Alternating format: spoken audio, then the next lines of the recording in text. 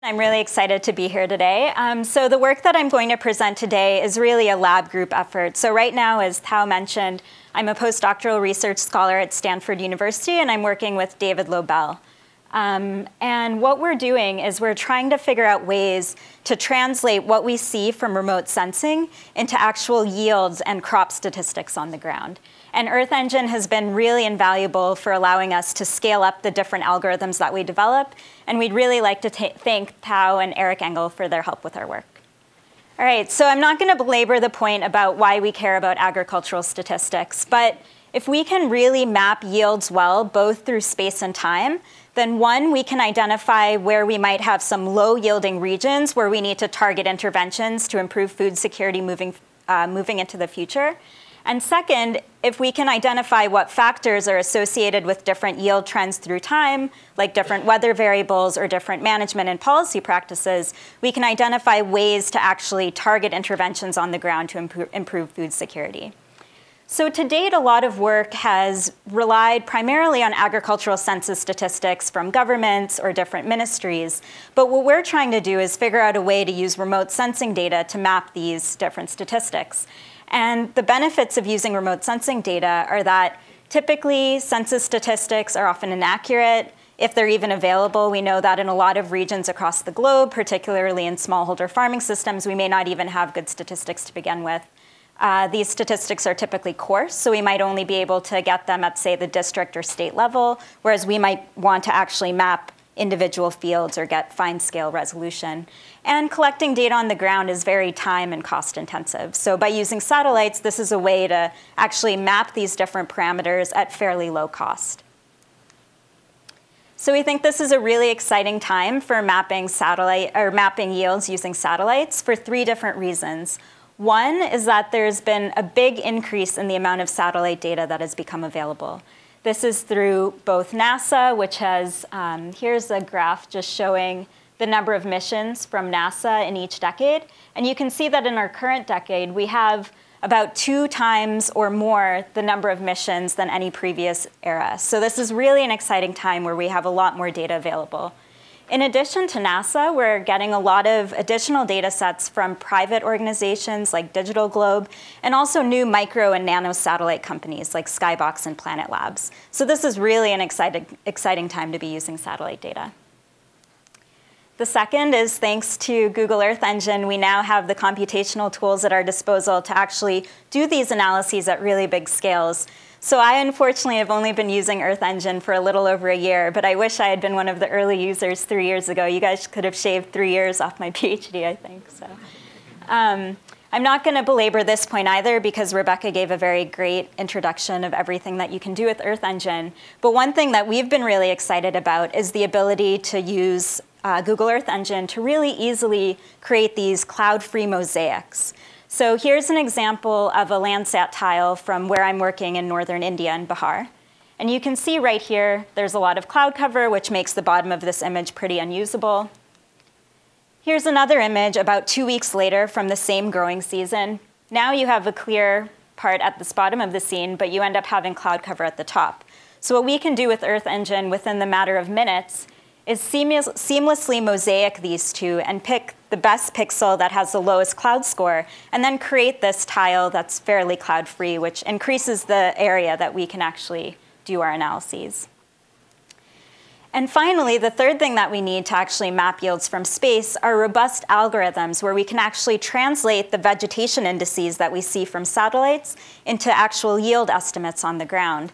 And today I'm going to talk about a method that our group has developed called SCYM. It's Scalable Crop Yield Mapper. David likes to make a joke that the way to remember it is actually, you can say that Stephen Curry is your MVP. He's a big Golden State Warriors fan. I don't know if you guys followed the finals. Um, but I try not to use that too much because I'm a Midwesterner and I'm a big LeBron James fan. So. All right, so to date, we've applied this algorithm in three different regions. We developed it first in the US, where we have really great field level data to actually validate our models. One thing I should say is the reason that our method is so scalable is we actually don't require any sort of calibration data to calibrate our model. Um, and because of this, we can actually run it in regions where we don't have very good ground data, which is most places around the world. So I'll show you some initial results, uh, which are pretty good from the US, from the Corn Belt in the US. Then I'll show you some preliminary results from northern India and also some results from Zambia, where we also have some ground data for validation. So here's just an example of a Landsat cloud-free mosaic overlay of um, agricultural fields in the Corn Belt in the US. And what we essentially want to do is translate this greenness, these greenness measures we're seeing from satellites into yields. But there's a lot of complexity in doing this because each of these different fields may have different management practices like different sow dates, different crop cultivars, they may experience different weather, have different soil types, and there's a lot of heterogeneity that makes it difficult to just create a very linear one-to-one -one relationship between a VI and, and yield. So what we do, um, we don't have crop valid, uh, field level validation data, but instead we kind of create this uh, calibration data, but we create this calibration data using simulations from crop models. So I'll do this again. We're going to go into our crop model simulation world now represented, represented by these cartoons. So specifically, we use the crop model APSIM. This is a product that we've really worked with for the past few years and really like. But there's no reason to think that this wouldn't work if we use different crop models. So basically what a crop model is, is it's a mathematical representation of crop growth through time. And what you do is you input a variety of different management practices or parameters that you think represent the fields over the region where you want to map yields. So for example, you might pick certain seed cultivars that you think are representative of your region. You control for different irrigation factors. So if it's a rain-fed system, you turn irrigation off. If you think that there is irrigation involved, you add different irrigation parameters. You can control the amount of fertilizer that you add. You input different weather parameters. And this is just a subset of the different factors that you can uh, consider within our model, but I just wanted to give you an example. And then what do we get from this? So we input all of these different management factors for this individual farmer, this individual field, and then what we get is an output of yields for that given farmer or field, and also crop growth through time, so a measure of LAI or biomass for each day throughout the crop growth cycle. And then what we do is because of that initial heterogeneity, if you remember that original map that I showed you, we don't just run the simulation for one farmer and one type of management, we run it for 50 or 100 different farmers that incorporate or encompass the range of management strategies in the region of interest. And what we then get are these nice phenologies of crop growth represented by LAI on the y-axis through time, which is on the x-axis. And each of these different lines represents each of these individual farmer simulations that we created. So um, once again, each of these simulations span various sites, years, sow dates, sow densities, just a variety of different management practices. And um, just in a very kind of basic sense, what you can see is these really high LAI simulations are typically ones that result in high yields. These low simulations are one that result in low yields. And what we can do is, say you have an image date from August, you can create some sort of relationship where if you know the LAI on August 1st, you can then convert that to yield.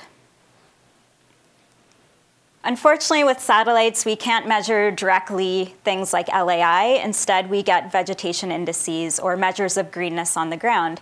But there's been a lot of research done that's looked at the relationship between LAI and different VIs, so we can actually translate what we're seeing from remote sensing into what we're getting from the crop model outputs. So here's just an example of a VI that we really like that we've found great success with. This is CL Green. And you can see that there's a fairly nice linear relationship between LAI and CL Green, meaning we can very easily translate the CL Green we see from our satellites into LAI. Then what we do is we run regressions using just the APSIM crop simulation data, where we predict the estimated yield from our model, based on the LAI on a given day, the weather on a given day. And through that, we get these beta coefficients from our linear regressions. And then we take those and actually apply them to the VIs that we see from our satellites. I know I went through that a little bit quickly, so I'd be happy to talk to you about this more um, at the upcoming break. But the main uh, benefit of this strategy is that if you remember, when we create these cloud-free composites, not all of the pixels are coming from the same date of image. So what this method allows us to do is actually come up with different beta coefficients for different dates of pixels or different dates of VIs from our satellite image analysis. So now we can really utilize every pixel within that cloud-free composite and not have to rely on just one date of analysis. And then using these date-specific regressions, we can then apply them at a per pixel level using Google Earth Engine. All right, so what do these look like? Here are some results for rain-fed systems of maize in Iowa, and this is just showing yields mapped from 2008 to 2013. Cooler values are represented in blue, and those are lower yielding regions, and then the hotter red colors represent higher yielding regions. And you can see that there's a lot of variability both across space and through time and yields. Okay, so so far I've mostly shown you simulations. How well are these actually doing? When we validated these data, they actually are doing fairly well. So here we're validating our estimate, which is on the x-axis, the SCYM estimate of yield, and on the y-axis is our actually observed or reported yield at the field level. And you can see that most of our results stay fairly close to this one-to-one -one line, meaning that our estimates are doing pretty well. And the correlation values range from about 0.5 to 0.7. So they're not perfect, but given that you don't need any sort of calibration data and this is really easily scalable, this is encompassing a lot of the variation that you would need to kind of pick out low yielding or high yielding regions or change in trends in yield through time. So another thing that's really exciting with Google Earth Engine is we don't all only get these sort of district level statistics. Instead, we can also get more localized field level maps of yields. So this is just showing an output that we did for individual fields within the same rain-fed system in Iowa. And you can export your geotiffs, import them into Google Earth, and actually look at changes in yield at the field scale in a very interactive uh, fine scale way. So now what we're working on is figuring out how generalizable the SCYM algorithm is. Hopefully I've convinced you that we did a pretty good job mapping rain-fed maize um, in the US Corn Belt. But how well does this work in other systems? So once again, the motivation behind this question was that we really wanted to use remote sensing to map yields in areas where we might not necessarily have great ground data. And oftentimes, these regions overlap with areas that are primarily smallholders, so this means farm sizes are typically two hectares or smaller. And with anyone who's tried to map agriculture using remote sensing, you know that smallholder farms are typically finer than the resolution of a Landsat pixel, which leads to problems of mixed pixels, and um, this could reduce our accuracy. The second issue is some of these regions also have a lot of mixed crop types. So unlike the Corn Belt in the US, where you can more or less see wall-to-wall maize, in some of these regions you might have different crops being planted next to one another. So how well do our algorithms work when you have these mixed cropping systems? And then finally, we wanted to see how well we can map other things other than yield. So from our APSIM output models, we also get things like sow date, and other crop parameters. So we want to see if using these same methods, we can map other factors that might be important for food security, like sow dates. So this is the work that I'm taking uh, the lead on. So we're focusing on mapping wheat yields in northern India. So this is the wheat belt in India that provides about 80% of India's wheat. Wheat is about 20% of caloric intake in India, so you can see that this is really an important region for food security for India moving forward. And what we've done to date, so the results right now are fairly preliminary, but um, we wanted to once again see how well these algorithms work in smallholder systems. So just to show you that issue of mixed pixels that I talked about earlier in a more visual way, here's just an image of this region that we're working in in northeastern India and Bihar. And you can see the images are fairly small. This is from Google Earth Engine. And when we overlay Landsat pixels on top of it, you can see that an individual field or an individual pixel might be covered by a few different fields. You might have some fields that are so small that they're not even covered fully by a Landsat pixel. Uh, so this, you can imagine, creates a lot of mixed pixel problems. So what we've done is we've tried to map sow date, and these are just maps of sow date just to show you some preliminary results in this region in India. Once again, cool colors represent earlier sow dates, hot colors represent later sow dates, and we're doing this through time. So you can see that there's, once again, a lot of variability through space and time. Finally, the third region that we're testing this in is Zambia, and this is another area where we have a lot of great ground data to validate our models. The issue here is we have a lot of different crops being planted within the same uh, area, so we're having this problem of mixed crop type that could be affecting our algorithm. So just to show you what this looks like, here's a, a picture from Google Earth, and you can see these really round fields, these represent irrigated maize. These more rectangular fields that are a little bit more regular in shape, those are rain-fed maize. So you can imagine that we likely would have to apply different algorithms to map yield in the rain-fed versus the irrigated farms. So we wanted to see can we actually map these systems and, and apply these algorithms. So first we looked at existing data products to see if we could use them to actually map rain-fed versus irrigated systems. This is one existing data product, and you can see that this doesn't really pick out those circular irrigated fields very well. This is a second existing data product. This also wasn't doing a really great job. So George Azzari, who's the postdoc taking a lead on this, I'm sure many of you know him from the Help Forum or previous Earth Engine uh, conferences, is taking the lead on this. And what he's done is actually developed his own classification to disentangle irrigated versus rain-fed systems. And the way he did this was he created four-year deep seasonal mosaics for November and January, February to April, May to July, and August to October, and he took the median NDVI value for each of these pixels. And then he ran a decision tree, decision tree classification, and we'll zoom in and see how well his classification does. So once again, this is what the image actually looks like. And this is what the classification looks like. So you can see that this is doing a much better job where we can pick out these more irrigated round, round systems and then the uh, more rain-fed maize systems. So once again, this is just preliminary. What we're going to do next is then apply the SCYM algorithms to rain-fed versus irrigated fields and see how well our algorithm does. So in summary, we think that we're at a really exciting time to be using satellites to map yields, and this is again for three reasons. We're getting a lot of different satellite products, not only from NASA, but from different private companies, and these data products are starting to be available at higher and higher spatial resolutions, where in smallholder farming systems, this is really exciting because this is going to get away from that problem of mixed pixels that I'm sure we've all been dealing with for the past few years.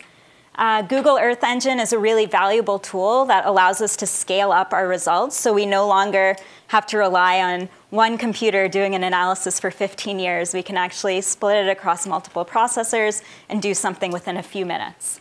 And then finally, we're getting access to new robust algorithms such as SCYM that will actually allow us to translate what we're seeing from remote sensing, i.e. the vegetation indices, into real world characteristics on the ground like yield or sow date.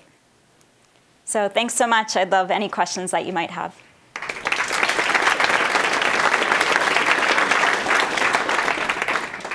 Yeah, so that's a great question. As I mentioned, our data products or our algorithm is only able to uh, get about 50 to 70% of the, the correlation between VIs and yield.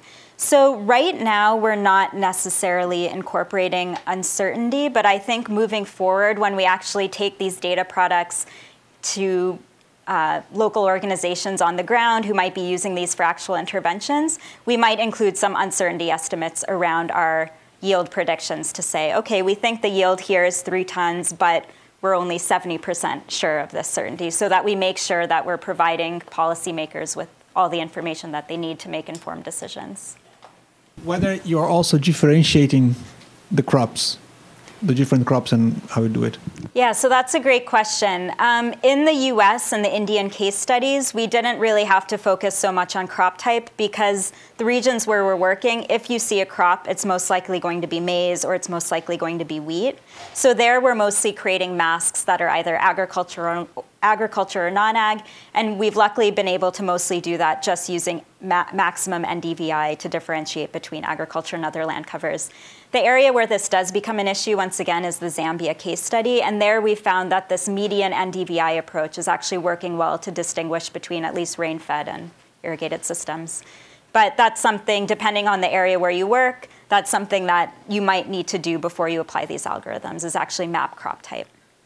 Uh, seems like the, the yield mapping seems so empirical and, you know, just for the rain-fed. Have you looked into implementing more dynamic crop growth model rather than a simple empirical equation that those beta coefficients cannot be transferable from year to year? And like these set type of models. And the second question, I was just wondering, uh, and maybe I missed it, what are some of the data layers that you guys have been using to differentiate uh, dry land from the irrigated. Have you looked into use of water consumption? That's that's very critical input. If you're gonna, you know, create a map that tells you whether that's a irrigated versus dry land. I mean, without such information, I think it, it will be not really robust.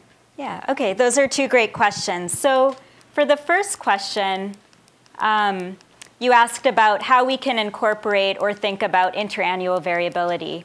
And or what, like dynamic. Or dynamic. And what we've found is that actually if we include weather in our models, which does vary from year to year, that really increases the R squareds from our yield predictions. So even though our beta coefficients are staying the same kind of through time, just incorporating the weather parameters add in a lot of accuracy. And also we would imagine Right, so we're trying to keep it for the crop type that we know. So we do do crop classifications before running these algorithms.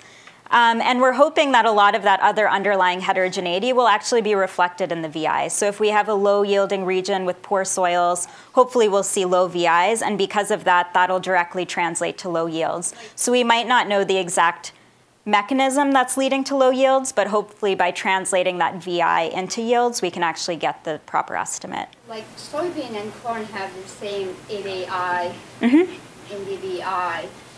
One yield, you know, soybean is 4,000 kilogram per hectare versus, you know, the other one is 12 to 15,000. How, how right. do you separate these differences if you don't know what the crop is? Right. No, that's a great question. So I should have made it clear. We actually rerun these algorithms for different crop types. So we have different beta coefficients for soybean, different beta coefficients for maize, different beta coefficients for wheat.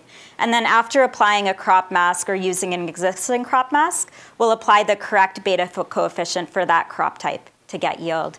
And we've actually uh, validated, so here I showed results for just rain-fed maize, but we've tried this for irrigated maize, rain-fed soybean, and irrigated soybean, and we actually get similar R-squareds. So we feel pretty confident that our, that our method is pretty um, flexible. Yeah, so that's a great question. So in terms of the remote sensing data, uh, for VIs, we've primarily been using Landsat, but now we're starting to use other products like Skybox to see if they can be applied to different data sets. In terms of weather, we've been using Prism and Daymet. Um, in India, we're struggling to figure out what the best thing to use is, thinking about using TRMM or Aphrodite, but yeah. I'd love to chat with you if you have other ideas. Yeah. Thanks so much.